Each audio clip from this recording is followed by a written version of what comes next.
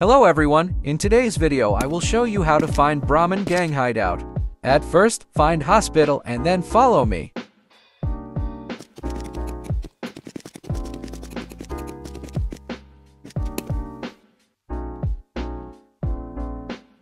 There you go, Brahman base. You can fight there or just chill with your friends.